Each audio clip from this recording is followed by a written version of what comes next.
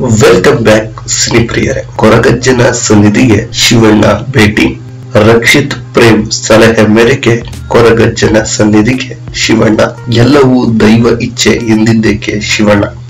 S century star ಶಿವಣ್ಣರವರು ತಮ್ಮ ನೂರ ಇಪ್ಪತ್ತೈದನೇ ಸಿನಿಮಾದ ಪ್ರಚಾರದಲ್ಲಿ ಬ್ಯುಸಿಯಾಗಿದ್ದಾರೆ.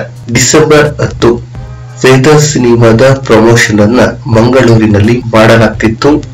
ಇಂತಹ ಸಂದರ್ಭದಲ್ಲಿ ಶಿವಣ್ಣರವರು ಮಂಗಳೂರಿನ ಪ್ರಮುಖ ದೇವಸ್ಥಾನಗಳಿಗೆ ಕುಟುಂಬ ಸಮೇತವಾಗಿ ಭೇಟಿ ಕೊಟ್ಟಿದ್ದರು. ಒಂದು ದಿನ ಮುನ್ನವೇ ಮಂಗಳೂರಿಗೆ ಆಗಮಿಸಿದ ಶಿವಣ್ಣರವರ ಕುಟುಂಬ ಧರ್ಮಸ್ಥಳ, ಕುಕ್ಕೆ, ಸುಬ್ರಹ್ಮಣ್ಯ ದೇವಸ್ಥಾನಗಳಿಗೆ ತೆರಳಿ ದರ್ಶನ ಪಡೆದು ಬಂದಿದ್ದಾರೆ. ಇದಾದ ನಂತರ ವೇದ ಸಿನಿಮಾದ ಪ್ರಮೋಷನ್ ಕಾರ್ಯಕ್ಕೂ ಮೊದಲು ಕೊರಗಜ್ಜ ದೈವದ ಆದಿಕ್ಷೇತ್ರಕ್ಕೆ ಹೋಗಿ ಬಂದಿರೋದು ವಿಶೇಷವಾಗಿದೆ. ಕೊರಗಜ್ಜ ದೈವ ಆದಿಕ್ಷೇತ್ರಕ್ಕೆ ಪ್ರೇಮ್ ಕೂಡ ಭೇಟಿ ನೀಡಿದ್ದರು. ಮನಸ್ಸಿನಲ್ಲಿ ಅಂದುಕೊಂಡಿದ್ದು ಈಡೇರಿದೆ. ನಿನ್ನ ಸನ್ನಿಧಿಗೆ ಬಂದು ಕೊರಗಜ್ಜನಿಗೆ ಬೆಳ್ಳಿ ದೀಪ ಹಾಗೂ ಗಂಟೆಯನ್ನ ಹರಕೆ ನೀಡುತ್ತವೆ ಎಂದು ಕೇಳಿಕೊಂಡಿದ್ದರಂತೆ. ಈಗ ನಟಿ ರಕ್ಷಿತಾ ಪ್ರೇಮ್ ಅವರೇ ಶಿವಣ್ಣನಿಗೂ ಕೊರಗಜ್ಜನ ಆದಿಕ್ಷೇತ್ರಕ್ಕೆ ಭೇಟಿ ನೀಡುವಂತೆ ಹೇಳಿದ್ದರಂತೆ.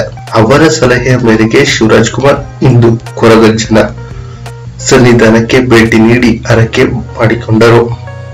ಈ ಸಂದರ್ಭದಲ್ಲಿ ಶಿವಣ್ಣ ಮಾಧ್ಯಮಗಳೊಂದಿಗೆ ಮಾತನಾಡಿದ ಅವರು, ವೇದ ಟೀಮ್ ಜೊತೆ ಬಂದಿದ್ದ ವೇದ ನನ್ನ ನೂರ ಇಪ್ಪತ್ತೈದನೇ ಸಿನಿಮಾ ಗೀತಾ ಪಿಕ್ಚರ್ಸ್ನಿಂದ ಇದನ್ನ ನಿರ್ಮಿಸಲಾಗ್ತಿದೆ. ನನ್ನ ಹೆಂಡತಿ ಮೊದಲ ಬಾರಿ ಪ್ರೊಡ್ಯೂಸ್ ಮಾಡಿದ್ದಾರೆ. ಇವತ್ತು ಒಂದು ಈವೆಂಟ್ ಇತ್ತು. ಈ ಈವೆಂಟ್ನಲ್ಲಿ ವೇದ ಸಿನಿಮಾದ್ದು ವೇದ ಸಿನಿಮಾದ್ದು ಒಂದು ಪ್ರಮೋಷನ್ ಇತ್ತು. ಅದಕ್ಕೋಸ್ಕರ ಒಂದು ದಿನ ಮುಂಚಿತವಾಗಿ ಬಂದೆವು. ಬರಬೇಕಾದರೆ ಧರ್ಮಸ್ಥಳ, ಕುಕ್ಕೆ ಸುಬ್ರಹ್ಮಣ್ಯ, ಇವತ್ತು ಕೊರಗಜ್ಜನ ಸ್ಥಳಕ್ಕೆ ಬಂದಿದ್ದೇವೆ. ಇದು ಗೊತ್ತಾಗಿದ್ದು ರಕ್ಷಿತಾ ಪ್ರೇಮ್ ಅವರಿಂದ. ಇಲ್ಲಿ ಹೋಗಿ ಬನ್ನಿ, ಅಣ್ಣ, ಒಳ್ಳೇದಾಗುತ್ತೆ ಅಂತ ಹೇಳಿದ್ರು. ಸರಿ, ನಮಗೂ ಹೋಗಿ ಬರೋಣ ಅಂತ ಅನ್ನಿಸ್ತು. ಎಂದು ಕೊರಗಜ್ಜನ ಸನ್ನಿಧಿಗೆ ನೀಡಿದ್ದರ ಬಗ್ಗೆ ಶಿವಣ್ಣ ಹೇಳಿದರು. ಇನ್ನು ಕೊರಗಜ್ಜನ ಬಳಿ ಬೇಡಿಕೊಳ್ಳೋದು ತುಂಬಾ ಸಿಂಪಲ್ ಸ್ನೇಹಿತರೆ. ಅದೇಕೆ ಅಂದ್ರೆ, ಮನುಷ್ಯನ ಸಮಸ್ಯೆಯನ್ನ ತುಂಬಾನೇ ಸಿಂಪಲ್ ಆಗಿ ಹೇಳಿಕೊಳ್ಳುವ ರೀತಿ ಅಂತ ಅನಿಸುತ್ತೆ ಏನು ಆಡಂಬರವಿಲ್ಲ. ಆರಾಮಾಗಿ ಬಂದು ಚಕ್ಕಳಿ ಹಾಗೂ ಎಲೆ ಮೇಲೆ ಇಟ್ಟು ಸಾರಾಯಿ ಹಾಕ್ತಾರೆ. ಅದನ್ನ ಹಾಕಿ ನಮ್ಮ ಮನಸ್ಸಿನಲ್ಲಿ ಇರೋ ಬೇಡಿಕೆ ಅಂದ್ಕೊಂಡು ಮತ್ತೆ ಪ್ರಸಾದ ಕೊಡ್ತಾರೆ. ನಮಗೆ ಇದು ತುಂಬಾನೇ ಸಿಂಪಲ್ ಅಂತ ಶಿವಣ್ಣರವರು ಹೇಳಿದ್ರು.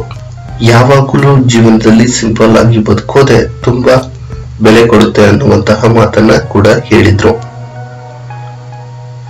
ರಕ್ಷಿತಾ ಪ್ರೇಮ್ ಸಲಹೆ ಮೇರೆಗೆ ಇಲ್ಲಿಗೆ ಬಂದೆ. ನಾವು ಡಿ ಡಿಕೆಡಿ ಮಾಡುವಾಗ ರಕ್ಷಿತಾ ಪ್ರೇಮ್ ಅವರು ಈ ದೇವಸ್ಥಾನದ ಬಗ್ಗೆ ಹೇಳಿದರು ನಾವು ಡಿಕೆಡಿ ಮಾಡುವಾಗ ರಕ್ಷಿತಾ ಅವರು ಹೇಳಿದ್ರು, ನೀವು ಹೋಗಿ ಬನ್ನಿ ಅಣ್ಣ ದೇವಸ್ಥಾನಕ್ಕೆ ಅಂತ ಹೇಳಿದ್ದು, ಮತ್ತೆ ಅವರು ನನಗೋಸ್ಕರ ಬೇಡಿಕೊಂಡಿದ್ದರು.